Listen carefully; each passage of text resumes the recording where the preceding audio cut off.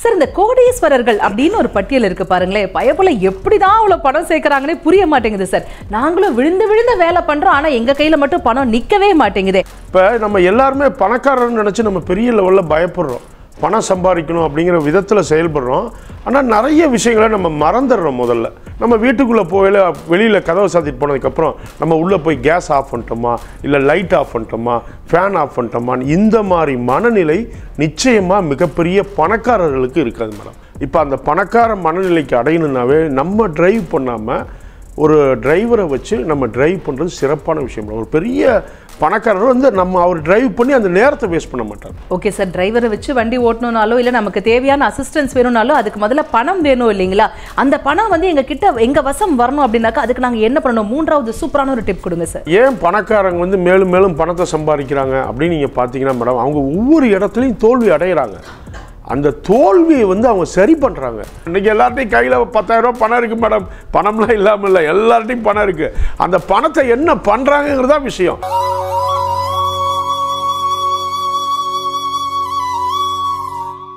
ஆன்மீக உலா அன்பு நேர்களுக்கு இனிய வணக்கம். நேத்து பார்த்தா சாதாரணமா இருந்தாங்க. ஆனா இன்னைக்கு பார்த்தா கோடீஸ்வரரா ஓஹோன்னு இருக்காங்களே. இதெல்லாம் எப்படிதாங்க நடக்குது? இதன் தாற்பயம் என்ன? இது குறித்த நிறைய விளக்கங்களை நம்மிடையே எடுத்துரைப்பதற்காகவே நம்ம அரங்கிற்கு வருகை தந்திருக்காரு ஆண்டாள் வாஸ்துவின் துணை நிறுவனர் திரு கைலை கே கோவிந்த் அவர்கள். வாங்க நேர்களே சார் சந்திப்போம். வணக்கம் சார். வணக்கம். வாழ்க வளமுடன். திருவே தஞ்சம் திருவரங்கனே தஞ்சம் தஞ்சமடைந்த நம் ராமானுஜனே தஞ்சம். சூடி கொடுத்த சுடர்குடி கோதை நச்சியார் ஸ்ரீ மத்திய விஷ்ணு சித்தாரிய மனோநந்தன கேதவே நந்தநந்தன சுந்தரிய ஹோதாய் நித்தியமங்கலம். ஜாய் ஹிந்த் ஜாய் ஸ்ரீராம். சார் இந்த கோடீஸ்வரர்கள் அப்படின்னு ஒரு பட்டியல் இருக்கு பாருங்களேன். பயப்பில் எப்படி தான் அவ்வளோ பணம் சேர்க்குறாங்கன்னே புரிய மாட்டேங்குது சார். நாங்களும் விழுந்து விழுந்து வேலை பண்ணுறோம் ஆனால் எங்கள் கையில் மட்டும் பணம் நிற்கவே மாட்டேங்குதே. அதுலயும் இன்னும் சில கேட்டகரி பார்த்தீங்கன்னாக்கா நேற்று சாதாரணமாக எங்க கூட பேசிகிட்டு இருந்தவர் இன்னைக்கு பார்த்தீங்கன்னாக்கா மிகப்பெரிய அளவில் உயர்ந்து நிற்பாங்க இதெல்லாம் எப்படி தான் சார் நடக்குது? மாயமா மந்திரமா ஒன்றுமே புரியலையே சொல்லுங்கள் உண்மையிலே மேடம் நம்ம செய்யக்கூடிய சின்ன விஷயம் மிகப்பெரிய மாற்றம். இப்போ நம்ம நடைமுறையில் நம்ம செய்யக்கூடிய விஷ விஷயங்களில் தான் எல்லாமே இருக்குது மேடம். இப்போ நம்ம எல்லாருமே பணக்காரர்னு நினச்சி நம்ம பெரிய லெவலில் பயப்படுறோம். பணம் சம்பாதிக்கணும் அப்படிங்கிற விதத்தில் செயல்படுறோம். ஆனால் நிறைய விஷயங்களை நம்ம மறந்துடுறோம் முதல்ல. சின்ன விஷயம் மேடம். இப்போ நம்ம என்ன பண்ணுவோம்? ஒரு வீடை நம்ம ஆக்சுவலாக நம்ம பூட்டிட்டு போகிறோம் அப்படின்னா நம்ம பூட்டை இழுத்து பார்ப்போம். இது தானே சார் இல்லை மேடம். இந்த இடத்துல தான் தவறு. ஒரு பெரிய பணக்காரங்க தான் வந்து வீட்டை முதல்ல பூட்ட மாட்டாங்க. அப்படி பூட்டினாலும் என்ன பண்ணுறதுன்னா அவங்க பூட்டை இழுத்து பார்க்க மாட்டாங்க. எந்த விஷயமா இருந்தாலும் சரி மேடம். நம்ம வீட்டுக்குள்ளே போயில வெளியில் கதவை சாத்திட்டு போனதுக்கப்புறம் நம்ம உள்ளே போய் கேஸ் ஆஃப் பண்ணிட்டோமா இல்லை லைட் ஆஃப் பண்ணிட்டோமா ஃபேன் ஆஃப் பண்ணிட்டோமான்னு இந்த மாதிரி மனநிலை நிச்சயமாக மிகப்பெரிய பணக்காரர்களுக்கு இருக்காது மேடம். இப்போ நம்ம சொல்கிறது வெற்றியாளர் ஆகணும். மிகப்பெரிய கோடீஸ்வரர் ஆகணும் அப்படின்னா நம்ம செய்யக்கூடிய சின்ன விஷயம். அப்போ பூட்டை இழுத்து பார்த்தீங்கன்னா நூறு செய்து நம்ம வெற்றி அடைய முடியாது. அதனால் நம்ம என்றைக்குமே வெற்றியாளர்னா நம்பிக்கையோட நம்ம கரெக்டாக இருக்குது எல்லாமே செஞ்சிட்டோங்கிற எண்ணத்தில் நம்ம வெளியில் வந்து பூட்டை வந்து ஒரே தடவை பூட்டணும் பெரிய பணக்காரங்களை பார்த்தா தான் அவங்க பூட்ட மாட்டாங்க. ஒரு பெரிய ஜுவல்லரி ஷாப்பில் பாருங்கள் ஒரு பெரிய ஜவுளி கடையில் பாருங்கள் பெரிய பெரிய ஹோட்டலில் பாருங்கள் மிகப்பெரிய லெவலில் உள்ள இடத்துல உள்ளவங்களாம் யாருமே தான் பூட்ட மாட்டாங்க. ஒரு வேலையாள் வச்சு அங்கே நிச்சயமாக அவங்கள வச்சு பூட்டுவாங்க இதுதான் அந்த இடத்துல அட்மினிஸ்ட்ரேஷனுங்கிறது அப்போ நம்ம என்ன பண்ணணும் அப்படிங்கிறது இதில் தான் நம்ம கவனிக்கணும். அப்போ நம்ம எப்போ பார்த்தாலும் பூட்டை இழுத்து இழுத்து பார்த்து பூட்டுறது மிகப்பெரிய தவறான விஷயமா. சார் அவங்க வீட்ல வேலையாட்கள் இருக்காங்க பூட்டு சாவியெல்லாம் வாங்கி பூட்டுறாங்க கார்ட்ஸ் இருக்காங்க வீட்ல வந்து பாத்துக்கிறதுக்கு செக்யூரிட்டி இருக்காங்க அதனால அவங்க பூட்டை இழுத்து பார்க்க வேண்டிய அவசியமே இல்ல. ஆனா எங்க வீட்லலாம் யாருமே கிடையாது சார். நாங்க தானே சார் ஜாக்கிரதையா இருக்கோமான்னு ஒண்ணுக்கு ரெண்டு ஏன்னா நாங்க கஷ்டப்பட்டு பணம் சேர்த்து வைக்கிறோம் சார். அது எதுவும் பிரச்சனை ஆயிடக்கூடாது அப்படிங்கிறதுக்காக நாங்க ரெண்டு தடவை இழுத்து பார்க்கறதுல என்ன சார் தப்பு? இதுதான் மேடம் மனநிலைன்னு சொல்கிறது இப்போ அவங்க பணக்காரர் ஆயிட்டாங்கன்னா அதான் மனநிலை. அவங்க வேலைகளுக்கெல்லாம் ஆட்கள் நிறைய பேர் வச்சுருக்காங்க. அதனால் அவங்க பூட்டுறதில்ல பூட்டுறாங்க. இழுத்து பார்க்கறதில்ல. ஆனால் நம்ம வந்து என்ன பண்ணுறோன்னா அந்த மனநிலைக்கு மாறணும். நம்ம கரெக்டாக கேஸ் ஆஃப் பண்ணிடணும். வீட்டில் ஒரு உள்ள ஃபேனை ஆஃப் பண்ணியிருக்கணும் ஏசி ஆஃப் பண்ணிட்டு வெளியே வரணும். வந்ததுக்கப்புறம் பூட்டிடுறோம். பூட்டினதுக்கப்புறம் எதுக்கு நம்ம வந்து ஏழ்மை மனதை திருப்பி திருப்பி இழுத்து பார்க்குறோம்? நம்மளும் அந்த பணக்கார மனநிலைக்கு மாறணுங்கிறது தான் என்னுடைய கருத்து.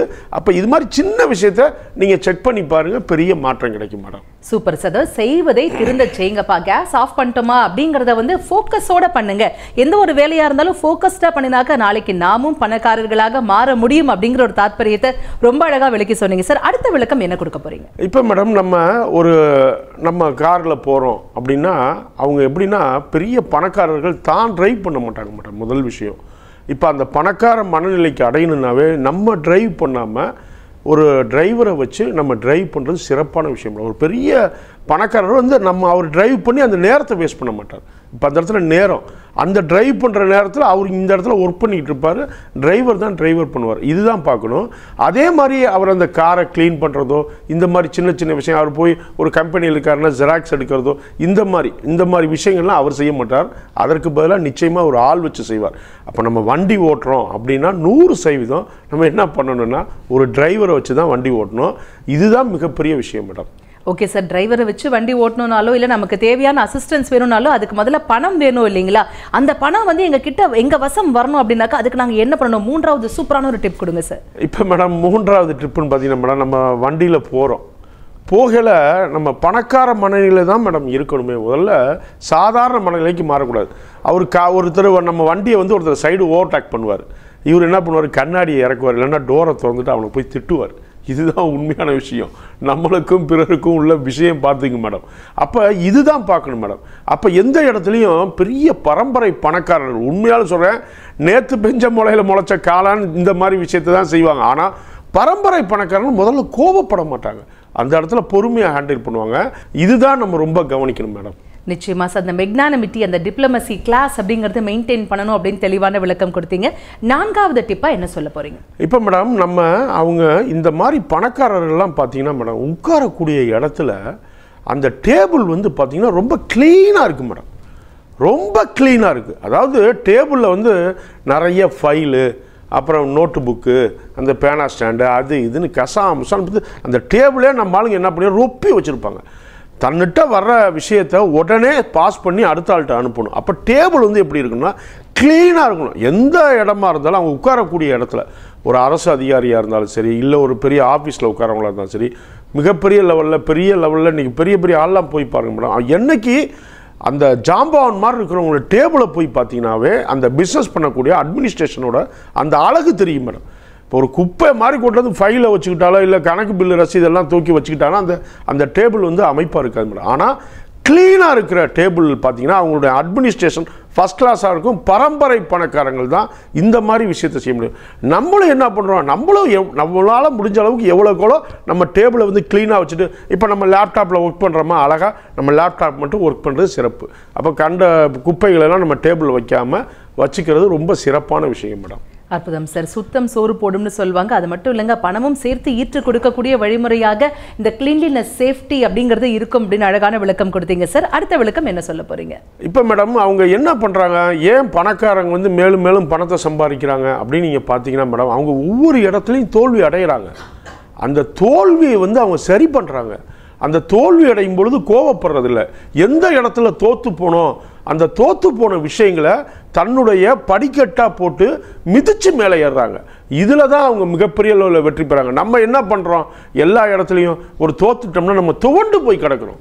ஒவ்வொரு இடத்துலையும் நம்ம தோல்வி உண்டு. தோல்விகளை அதாவது இந்த இன்னைக்கு உலகத்தில் தோத்தவனுக்கும் இடம் உண்டு ஜெயித்தவனுக்கும் இடம் உண்டு. ஆனால் வேடிக்கை பார்க்குறவனுக்கு ஒரு காலத்துலையும் இடம் கிடையாது.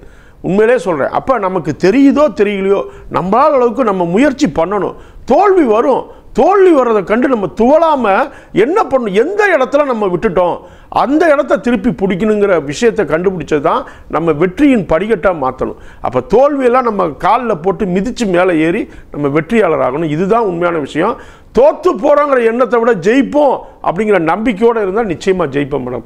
இதுதான் பணக்காரங்கள்ட்ட கிடைக்கக்கூடிய மிகப்பெரிய விஷயம் மேடம். நம்ம எல்லாம் இந்த இடத்துல தான் நம்ம தோற்று போய் தோண்டு போய் கிடக்கிறோம். ஆனால் துவளாமல் ஜெயிச்சு நிற்கிறது தான் மிகப்பெரிய அற்புதமான விஷயம் மேடம். அற்புதம் சார். வாழ்க்கையில வரக்கூடிய தடை கற்களை வெற்றி படிக்கற்களாய் மாற்றி அமைத்து மேலே ஏறி போயிட்டே இரு ராஜா. ஸ்கைஸ் த லிமிட் அப்படின்னு சொல்றீங்க. ஆனா உண்மை அதெல்லாம் சொல்ல நல்லா இருக்கு சார். மீண்டும் மீண்டும் மண்டையில குட்டு வாங்குறவனுக்கு தானே சார் அந்த வலி புரியுது. எவ்வளவுதான் நாங்க வந்து முயற்சி செய்து எழு- எழுந்து வந்து நாங்க நீச்சல் அடிக்க பழகினாலும் கூட திருப்பி திருப்பி எங்க கால்கள் பின்னோக்கி இழுக்கப்படுதே. அப்போ நாங்க என்ன பண்ணலாம் சார்? இப்போ மேடம் ஏன் நம்ம அவங்க மாதிரி இருக்க முடியாதுன்னு நினைக்கிறீங்க? நூறு சதவீதம் நம்மளால இருக்கலாம். முயற்சி பண்றோம். ஆனா எவ்வளவுதான் அடி வாங்குறது வாழ்க்கையில? அதாவது மேடம் இப்போ சின்ன விஷயம் மேடம். இப்போ அவங்க என்ன பண்ணுறாங்க நம்ம என்ன பண்ணுறாங்க இப்போ அவங்க ஒரு ஹோட்டலுக்கு போகிறாங்க அப்படின்னு பார்த்தீங்கன்னா நம்மளும் ஹோட்டலுக்கு போவோம். நம்ம ஹோட்டல் போனோடனே நம்ம மனைவியை கூட்டிகிட்டே போகிறோம் குழந்தை மனைவியை கூட்டி போனோடனே மனைவி ஆசைப்பட்டு விருப்பப்பட்டு கேட்குறத நம்ம வாங்கி தர மாட்டோம். எப்பா என்னப்பா இது ரேட்டை பார்ப்போம். நம்ம அவங்க வந்து மெனு கார்டில் என்ன ஜ மெனு இருக்குன்னு பார்ப்பாங்க. நம்ம மெனு கார்டோட சேர்த்து என்னத்தை பார்ப்போம்? விலையை பார்ப்போம். இப்போ இதில் தான் நம்ம தோத்து போகிறோம் சார் அவங்க கை பை இல்ல சார் எக்கச்சக்கமா வச்சிருக்காங்க. நாங்கெல்லாம் இருக்கிறத வச்சு தானே சார் நாங்க வாழ வாங்க முடியும் மாவாட்ட முடியாதே சார். இல்லை மேடம் நிச்சயமா மாவாட்டுற மாதிரி சூழ்நிலைகள் வராது. ஏன்னா நீங்க உங்க மனைவிகளை கூட்டிட்டு ஹோட்டல் போகும் பொழுதே அந்த மனநிலை வந்துடும் ஆக்சுவலாகவே நம்ம சின்ன விஷயம் தானே மேடம் அப்போ என்ன மனைவி என்ன கேட்குறாங்களோ அவங்க ஆசைக்கு நம்ம விடணும் கேட்குறத அப்போ நம்ம என்ன பண்ணுறோம் நம்மளும் சாப்பிட்றோம். அப்போ ஹாப்பியாக சாப்பிட்ணும். சாப்பிட்டுட்டு மேடம் நம்ம வந்து என்ன பண்ணுறதுன்னா கொடுக்கக்கூடிய பில்லை கூட்டி பார்க்கக்கூடாது மேடம் இந்த இடத்துல தான் பணக்காரனுக்கு ஏழைக்கு உள்ள வித்தியாசம் தெரியுது மேடம் இப்போ நம்ம என்ன பண்ணுவோம்? ஒரு எட்நூறுவாய்க்கு சாப்பிட்றோம். ஒரு ஆயிரம் ரூபாய்க்கு சாப்பிட்றோம். இன்றைக்கி எல்லார்ட்டையும் கையில் பத்தாயிரம் பணம் இருக்குது மேடம் பணம்லாம் இல்லாமல் இல்லை. எல்லார்ட்டையும் பணம் இருக்குது அந்த பணத்தை என்ன பண்ணுறாங்கிறது விஷயம். பணத்தை எப்படி பிடிக்கும் அப்படின்னா நம்ம சாப்பிட்றோம். சாப்பிட்டுட்டு அந்த பில்லை போய் கூட்டி பார்ப்போம். நம்மளுக்கு ஒரு சின்ன இதெல்லாம் நான் முன்னாடி ஒரு காலத்தில் பண்ணது தான் இன்னைக்கு நான் ஒரு டயத்தில் பண்ணது தான் நாற்பது நூறு எண்பதுன்னு எல்லாத்தையும் கூட்டி பார்ப்போம். கூட்டி பார்க்குற பழக்கம் உண்டு.